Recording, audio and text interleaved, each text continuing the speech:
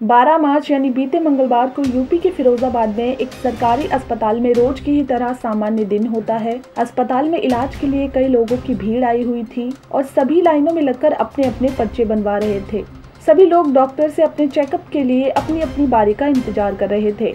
इसी बीच एक महिला अस्पताल में अपने मुँह को अपने दुपट्टे से छुपाकर दाखिल होती है और बाकी लोगों की ही तरह लाइनों में लगकर अपना भी पर्चा बनवाती है। तभी भीड़ में कुछ लोग उस महिला का चेहरा पहचान जाते हैं और उसे देखकर वहाँ के लोगों में चिल्लम चिल्ली मच जाती है। आखिर कौन थी ये महिला, आइए जानते हैं। दरअसल ये महिला एक आईपीएस ऑफिसर होती है जो अस्पताल में आ रही कई शिकायतों की जाँच करने के लिए इस अस्पताल में आती है। ये आपको किसी फ़िल्म के नज़ारे जैसा लग रहा होगा, जहाँ हीरो अपना हुलिया बदल लोगों को एक्सपोज करता लगता है। लगना भी चाहिए क्योंकि ये आईपीएस ऑफिसर कुछ काम ही ऐसा करती है। इस घटना के बारे में कुछ और जानने से पहले इस घटना को शुरू से जानते हैं। दरअसल आईपीएस ऑफिसर सदर कृतिराज के पास लगातार ये शिकायतें आ रही थी। फिरोजाबाद के दीदामई प्राथमिक स्वास्थ्य केंद्र में मरीजों के साथ बुरा व्यवहार किया जा रहा है। डॉक्टर मरीजों से सही से बात नहीं करते हैं और न ही समय पर दवाइयाँ दे रहे हैं। यहाँ तक कि राबिज के मरीजों को भी यहाँ घंटों लाइनों में लगकर इंतज़ार करना पड़ रहा है। इन्हीं सब शिकायतों की जाँच जाँच करने के लिए एसडीएम सदर कृतिराज ने अस्पताल में खुद ही जाने का फैसला लिया और एक आम इंसान की तरह दीदामई अस्पताल में पहुँचती हैं। जब वहाँ लोगों को ये पता चलता है तो लोग कहने लगते हैं कि एसडीएम मैडम निरीक्षण करने आई हैं और लोगों ने अपनी अपनी शिकायतें बताना शुरू कर दिया एसडीएम सदर कृतिराज भी वहाँ के स्टाफ और डॉक्टर्स का रवैया देख बताती है की डॉक्टर्स मरीजों से सही से बात नहीं करते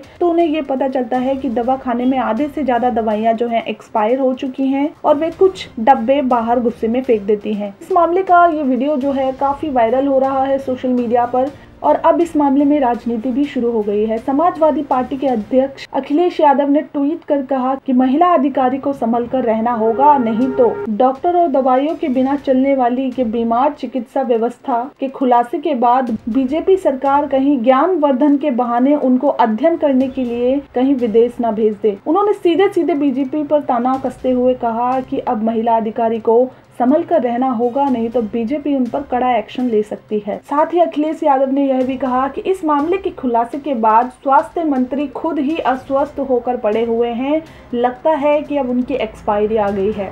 इस मामले में यूपी सरकार या फिर फिरोजाबाद डीएम की तरफ़ से अभी कोई बयान नहीं आया है। चलिए अब जानते हैं एसडीएम सदर प्रतिराज के बारे में कुछ बातें। प्रतिराज 2020 बैच की आईएएस हैं और यूपीएससी एग्ज़ाम में उनकी 106 रैंक आई थी। सोशल मीडिया पर काफ़ी एक्टिव हैं और इंस्टाग्राम पर उनके एक लाख से भी ज़्यादा फॉलोअर हैं। प्रतिराज झांसी की रहने वाली है और झांसी के ही सैन फ्रांसिस्को कॉन्वेंट स्कूल में उन्होंने अपनी पढ़ाई की और फिर झांसी के जय अकेडमी में बारहवीं की। झांसी से ही उन्होंने बीटेक किया और 2020 में पहले ही अटेम्प्ट में उन्होंने आईएएस की परीक्षा क्रैक कर ली। तो ये थी आईएएस सदर कृतिराज से जुड़ी कुछ खबरें। आप इस घटना के बारे में क्या सोचते हैं? कमेंट सेक्शन में हमें अपने सुझाव ज़रूर बताएँ। तब तक के लिए देखते रहिए लोगों से लोगों तक। धन्यवाद।